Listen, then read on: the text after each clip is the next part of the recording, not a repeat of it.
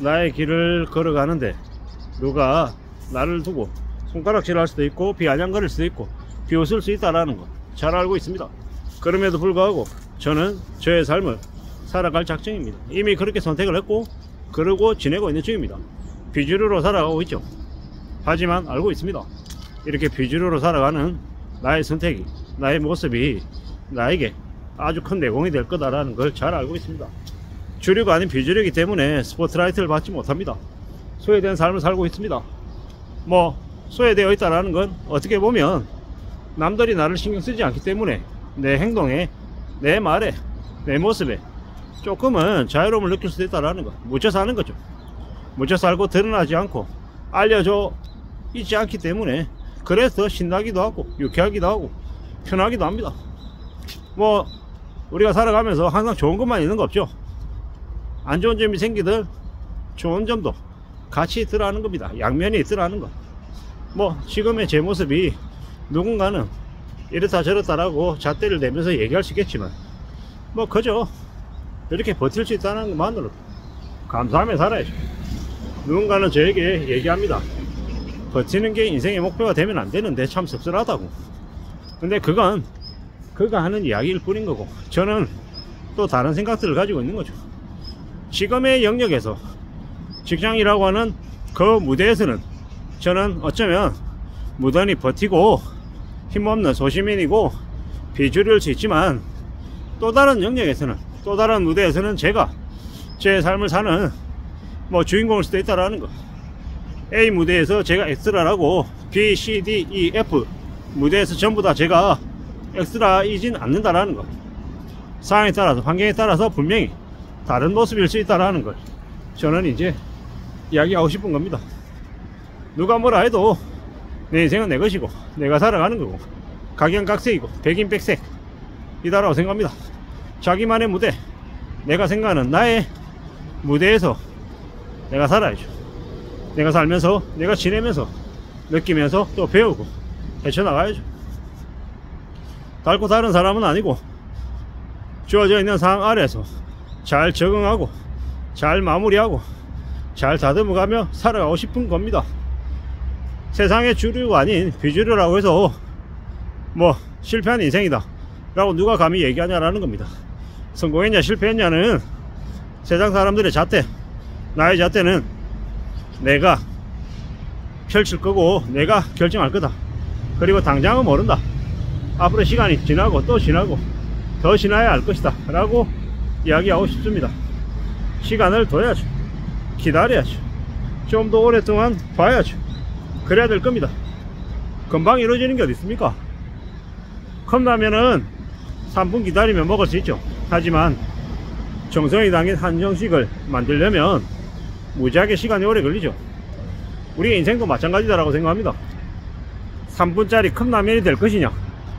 그럴싸한 정성이 담긴 한정식이 될 것이냐는 자기가 판단하고 자기가 생각하는 거 아니냐 라고 이제 이야기하고 싶은 겁니다. 부지런히 무더니 차근차근 하루 이틀 한 달 두달 1년 2년 축적해 나가야죠. 그렇게 쌓아가다 보면 분명히 길이 열릴 수 있다는 겁니다. 그냥 되는 거 없더라. 뭔가를 일으켜야 되고 만들어 가야 되고 다듬어야 되더라. 그렇게 생각합니다. 가보자고요. 앞으로 또 앞으로 항상 말입니다 우리가 무던히 무던히 앞으로 나아가다 보면 분명히 길은 열릴 것이다. 갖출 수 있을 것이다. 만들 수 있을 것이다 라고 이야기하고 싶습니다. 부지런히 나아가야죠. 하나에 둘씩 다듬어 가야죠. 그냥 되는 게 어딨던가. 내가 의도적인 노력을 진짜 진짜 무진장 쏟아부어야 그게 이루어질 거다 라는 겁니다. 그런 마음으로 그런 생각으로 다듬어 가보자 라고 말하고 싶습니다. 가봐야죠 그래야죠. 누가 뭐라고 해도 차근차근 앞으로 나아가야죠. 그렇게 길을 만들어 가고 싶습니다. 다듬어 가고 싶다라는 거죠. 이래도 좋고 저래도 좋고 이래도 흥 저래도 흥 이러고 싶지 않습니다. 차근차근 만들어 가고 내 것을 다듬고 일어나고 싶다라는 겁니다. 원에서 나이가 들어가고 있습니다. 저도 제 모습을 보면 아 나도 이제 나이가 들어가는구나 라는 걸 느끼죠 어쩌겠습니까 세상이 나를 나이 들게 하는 것을요 받아들이고 인정하고 수긍하면서 살아야죠. 그리고 또 여기에 걸맞게 또 하루하루를 채워나갑니다. 감사해야죠. 고마워해야죠. 정말로 고마워하고 감사하며 사는 것. 이게 더더욱더 필요한 것 같습니다. 어떻게 하다 보니까 유튜브를 찍어서 이렇게 주저리주저리 얘기하는 게 저의 일상이 됐습니다. 고마운 일입니다. 감사한 일입니다. 이러면서 제가 모자란 제가 조금씩 성장해 나가는 걸 느끼기 때문입니다. 계속 깨우쳐 나가고 다듬어 나가고 배우고 애써야죠. 그러다 보면 이 비주류로 사는 비주류의 삶을 사는 제가 뭐 언젠가는 날개를 펴고 헐헐 날아다닐 날이 오지 않겠냐 이런 생각도 해봅니다 뭐 제가 우연찮게 창업 컨설팅하는 대표랑 뭐 대학 교수랑 인연이 돼서 같이 이제 가끔 강의를 다닐 때도 있습니다. 저는 현직에서 종사하고 있는 현직 MD다 보니까 온라인 MD다 보니까 이야기할 거리들이 조금은 더 있더라는 거죠. 그리고 뭐 지금 당장은 좀 막연하지만 차츰차츰 이제 제가 할 수 있는 이야기들의 주제를 정해야 될 것 같습니다. 한 10가지 정도 정해서 저만이 할 수 있는 이야기들을 풀어나가야겠죠 그래야 된다고 생각합니다.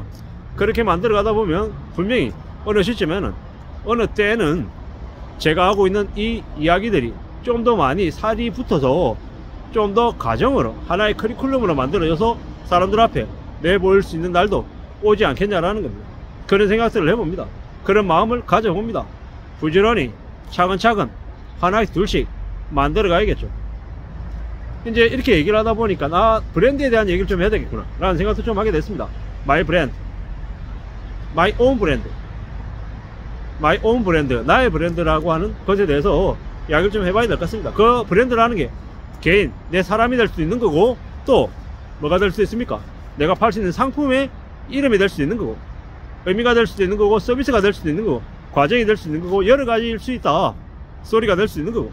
확실한 건 뭐다 그 브랜드를 통해 가지고 내가 전하려고 하는 가치를 잘 좀 전파하면 그게 훨씬 더 의미가 있는 것들일 것이다 라고 생각하게 되는 거죠. 브랜드에 대한 이야기를 이제 또 하나의 과정으로 만들어서 좀 얘기를 해보고 싶은 생각입니다. 나의 브랜드 나의 이야기 내 나만이 할 수 있는 이야기를 만들어 가겠다는 생각이 좀 들었습니다.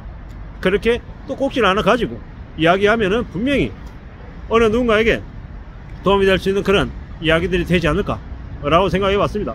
저는 지금 유튜브를 통해서 제 이야기 나의 브랜드 내 살아온 인생들 이야기들을 두서없이 많이 하고 있습니다. 그런 것들이 이게 밑거름이 돼서 하나씩 둘씩 가정으로 좀 만들어지면 좀 더 의미가 있을 것 같습니다. 감사합니다